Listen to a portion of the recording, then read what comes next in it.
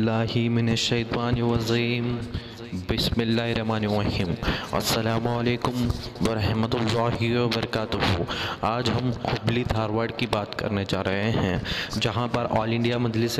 Muslimeen party के सदर barrister Asaduddin Owaisi साहब ने दस्तक दी थी और वहाँ के म्यूनसिपल कॉरपोरेशन इलेक्शन में जिस तरह से मजलिस ने अपने उम्मीदवारों को उतारा है, उनकी कैंपेनिंग के लिए ख़ुद बैरिस्टर असदुद्दीन अवीसी साहब गुलबर्गा धारवाड़ बेलगाम इन डिस्ट्रिक्टों में जाकर मजलिस को मज़बूत बनाने के लिए उतर चुके थे और वहाँ पर उन्होंने लगातार अपनी कैंपेनिंग के ज़रिए से लोगों के दिलों में मजलिस मुस्लिमीन पार्टी की मोहब्बतों को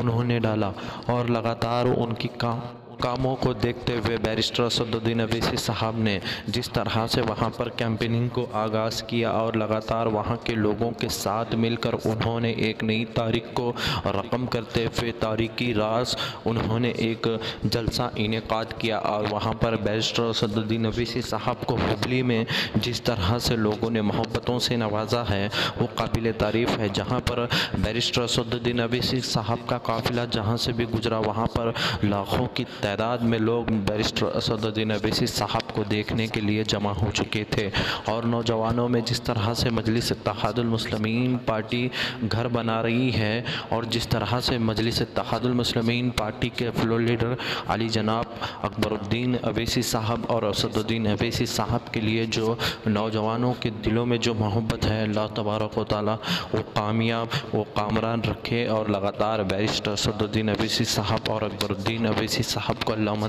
सेहतमंद रखे। क्योंकि आने वाले दिनों में जिस तरह से दिन ब दिन यहाँ के माहौल बदलते जा रहे हैं और जिस तरह से कर्नाटका में भारतीय जनता पार्टी की सरकार जब से बनी है, तब से लेकर आज तक मुसलमानों को नज़रअंदाज किया जा रहा था। आज उन्हीं के हकूक़ की बात करते हुए बैरिस्टर सदुद्दीन अवैसी साहब ने मोर्चा खोल दिया है और अपने उम्मीदवारों को मैदान में उतारा है और इस म्यूनसिपल कॉरपोरेशन इलेक्शन में आप सभी मिलकर बैरिस्टर असद असदुद्दीन अबीसी साहब के हाथों को मज़बूत बनाइए और मजलिस तहादुलमसलमिन पार्टी को हुबली और धारवाड़ में कामयाब कीजिए और बैरिस्टर असदुद्दीन अबीसी साहब ने अपने ज़बान से ख़ुद कहा था कि यहाँ का इलेक्शन का माहौल मैं समझ चुका हूँ और यहाँ पर मजलिस तहादुलमसलमिन पार्टी की जीत हो रही है तो आप सभी बैरिस्टर असदुद्दीन अबीसी साहब की ज़ुबान का लाज रखें और उनके एहतराम करिए और सभी मिलकर तीन तारीख के दिन एक एक कीमती वोट मजलिस तहादुलमसलमिन पार्टी के हक़ में देकर आप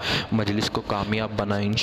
ताला आने वाले दिनों में बैरिस्टर सदुद्दीन अवीसी साहब और मजलिस तहादुलमसलमिन पार्टी कर्नाटका के विधानसभा इलेक्शन में भी हिस्सा लेगी तो आप ऐसे ही वीडियो को जानने, पहचानने के लिए आप हमारे चैनल पर बने रहिए। चैनल को सब्सक्राइब कर ले, बेल आइकॉन को दबाएँ और इस वीडियो को ज़्यादा से ज़्यादा शेयर करें।